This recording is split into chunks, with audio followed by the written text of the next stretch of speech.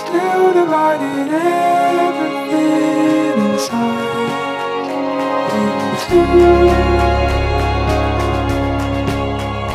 the floor was a tide. It's all